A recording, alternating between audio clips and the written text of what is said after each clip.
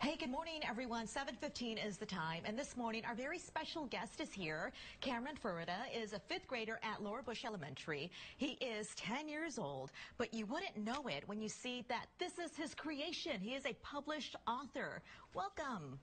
Hi. Thank you for being here. So this is the great adventures of Rocky Raccoon, the fight for Fang. Tell us about it. Um, well, it's about Rocky Raccoon and his adventures through Austin with his sidekick Buff. Cool. And at the end, they run into an evil duo named Evila and Fang, and you can see on the cover. Ah. And they have to try to defeat them. All right, so a little adventure, definitely. How did you embark on this adventure? How did you come up with the idea? Well, about four years ago, my dad and I started it as a bedtime story. Okay.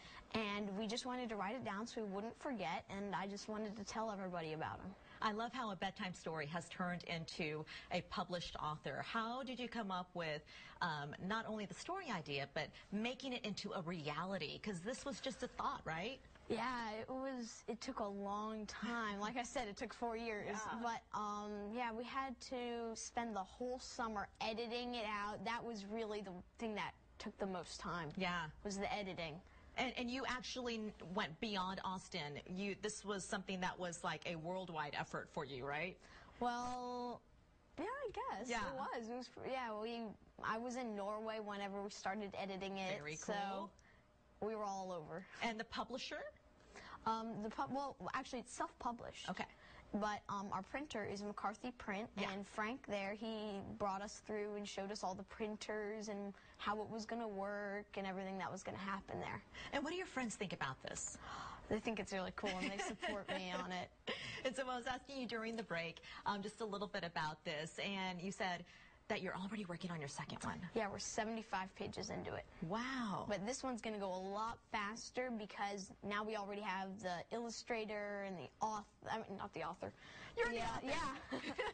and the printer and all sorts of, just all the people that we need, we already have them. So that was kind of the slow process, right, to get all that. But, you know, writing the book, is that a fast process for you? Can you just come up with stories on the go? Well, now that I've already done the first one, yes. Yeah. Okay. It comes really quickly. Can you tell me a little bit about the second one? I don't want you to give it all away. Or is that not good? Should we not talk about it? I can Keep it a secret? I Okay. can tell a little.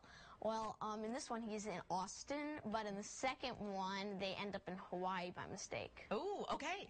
So if you want to meet Cameron, and maybe you can give people, some kids out there, some tips on how to get started as well. Or if you want to pick up a book and maybe parents read it to your kids at night, where can they go, Cameron? Um, Zinger Hardware at 38th and Lamar. I'm having a book signing tomorrow from 10 to 2, and there's going to be a Santa there. F- Bring your kids, and there are going to be lots of different fun things. You can also get it online at www.rockyraccoonkids.com. Okay, and, and we should also mention this is already selling really well, isn't it? Yeah, I've sold a thousand copies in the last month and a half. Wow. All right, Cameron, best of luck in the future. And you said this is just for fun. It's really not what you want to do as a career, right? Not at all. Wow. All right. I'm impressed. I don't remember what I was doing at 10, but I wasn't doing this. Congrats, Cameron. Thank you. All right.